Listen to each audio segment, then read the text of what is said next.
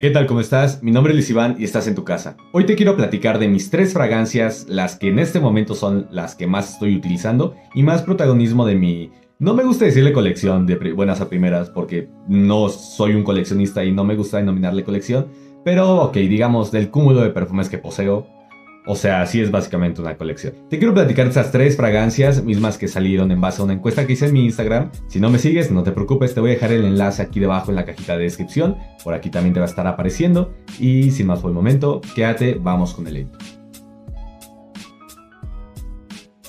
Señalar que ya tenía una selección de 12 perfumes que son entre los más de 100 que tengo, los que más estoy utilizando, entonces fue por eso que dije, ok, creo que 2 es un buen número, a la par para que estuviera entretenido y todo. Pero hay algunas fragancias dentro de que sí son un poquito redundantes. ¿Qué es lo que me planteé hacer? Unas que para nada fueran redundantes entre sí y también los como tres que más ocupo en momentos específicos. Ya te estaré contando también, pero estos momentos son como lo que más suele rondar en mis rutinas, en mi día a día. Vamos empezando con ¿Con cuál iremos a empezar? Hmm, vamos empezando con este perfume de aquí, Sara Lisboa. Te lo pongo por aquí, creo que ni siquiera se ve, ahí está. Lisboa, pero también estoy yo ahí, ok. Lisboa de Sara, porque es uno de los que más ocupo y probablemente el perfume que más he estado ocupando de casi un año para acá. Sí, pareciera que no está tan gastado, pero realmente este perfume me lo aplico hasta en las piernas. Sí, neta, neta me lo aplico hasta en las piernas. ¿Por qué? Porque es uno de mis favoritos, preferidos para irme al gimnasio. Es una fragancia buenísima, se asimila bastante, bastante, bastante. O sea, el que te diga que esto no se parece a Aqua di Gio de Armani, te está mintiendo. Sí se parece y se parece mucho.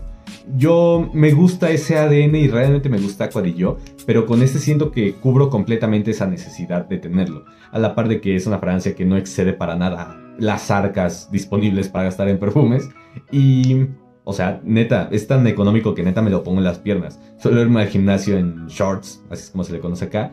Y entonces quiero pensar que distribuye bastante bien la fragancia porque sí que lo he estado utilizando. Es un perfume muy rico, ya por ahí tengo el review, de hecho fue mi primer video en YouTube sobre esta fragancia y a la fecha me sigue gustando bastante. A la parte que tengo por ahí una cremita que es igual el ADN aroma de Aqua Gio y en conjunto son una joya. Duración deja un poquito que desear, pero acorde al precio, ni no esperas nada y terminas recibiendo hasta eso. Esta, uno de los perfumes que más ocupo en mi día a día, tanto para ir al gimnasio como para días que de plano solo quiero oler bien. Así es simple. Con esto, así simple vas a oler bien. Así que este puesto se lo lleva, iba a decir Acuadillo, pero no. Lisboa de Sara. En el lugar que sigue y empezamos un poquito con las ocasiones nocturnas y también una que otra, pues no sé, comida familiar, alguna que otra fiestecita. Y esta fragancia de aquí es Mancera Cigar Poissé. Una joya, yo creo que este sí entra en mi top de perfumes favoritos per se. Es, es una delicia, es una delicia. La gente dice que se parece a Creed Aventus. Cuando me llegó yo también entendí la similitud. Pero no, es que esto es, esto es otra onda. O sea, respecto a Creed Aventus, ya lo he dicho un par de veces, yo prefiero esto. Se me hacen dos fragancias que no se me haría redundante tener ambas. Si bien aquí conservas esta piña, para mí Creed Aventus es como un splash de cítricos eh, una fragancia fresca meramente. Y esto de acá es como un perfume más espeso, un perfume más incluso equilibrado, no va tanto como esos extremos contrastes de Aventus. Para mí esto de acá, no. Esto es... Para mí es como si agarraran una base de ámbar, pero este ámbar en lugar de ser la base vainillada fuera una base de piña, como si fuera un caramelo de piña. Este se va evaporando como si fuera uno de estos aromatizantes de casa que les pones los palitos y se va evaporando como lentamente. Esto se me hace una fragancia muy aceitosa y es por eso que le doy como esa cierta similitud, o en mi cabeza así es. ¿Por qué uso tanto este perfume? Porque, primero que nada, pues sí, a mí me encanta, me encanta. Fue mi primer fragancia nicho y no volvería, si tuviera que volver a comprar alguna fragancia, alguna primer fragancia nicho, yo creo que también volvería a hacer este. Es un perfume que es fácil de gustar, me han dado muchísimos cumplidos con él. Siempre que me lo pongo, alguien me dice, ya sea ese día o al día siguiente, oye, es que la verdad es que el perfume que traías ayer o esa noche está buenísimo. Y pues ya ahí es donde les digo, ah, no, pues fíjate que se llama Mancera Cerca Pase. Y sí, sí, es la es que está muy rico. es un perfume poco conocido relativamente en lo que a tiendas departamentales concierne, al menos en México. Pero si lo consigues, pruébalo primero que nada. Seguramente te va a sorprender. Es una fragancia muy rica. Sé que no es del agrado de todos como nada en este mundo, pero uno de los perfumes que más utilizo y pues esto es un poquito lo que llevamos gastado de él. O sea, relativamente considerable, relativamente, vale. Este lugar se lo lleva Mancera Cercat Boisé, que es una, una chulada. Ok, allá aprendimos a hacerlas. Y en este último puesto te voy a estar hablando de uno de mis perfumes que igual se disputa y bastante cañón, el de los primeros lugares para ser mi fragancia favorita meramente.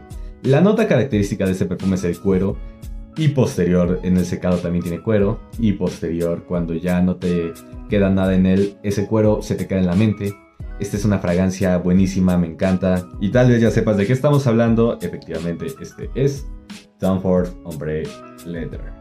Aquí tenemos esta botella tan, tan linda. O sea, se me hace muy linda. Porque este es uno de los perfumes que más ocupo también. Eh, mismo caso, ocasiones nocturnas. Pero este es mi gusto culposo. O sea, me lo puedo poner en calor. En serio, es un perfume que me, que me volvió loco.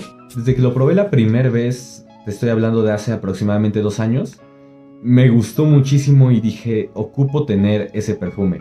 Se me hizo un día y ahora es mío, es parte de... Y no, o sea, es de esos perfumes que considero, a mí se me hace que no es una fragancia económica.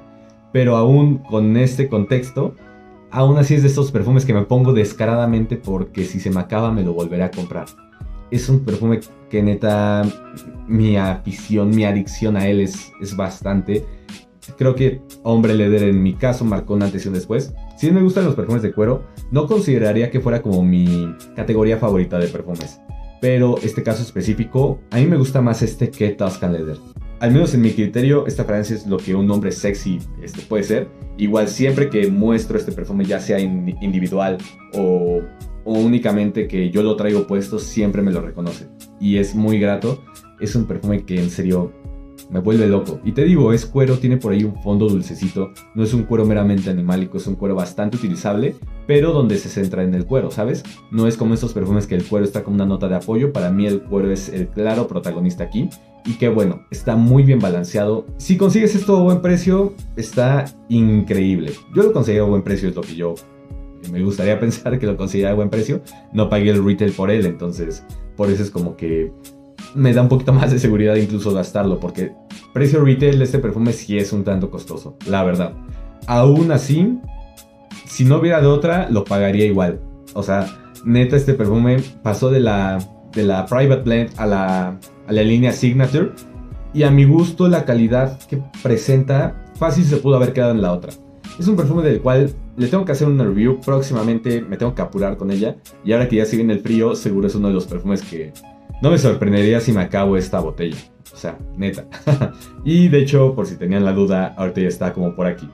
En serio, ocupo mucho este perfume. Lleno Dicans, me los acabo, los vuelvo a llenar.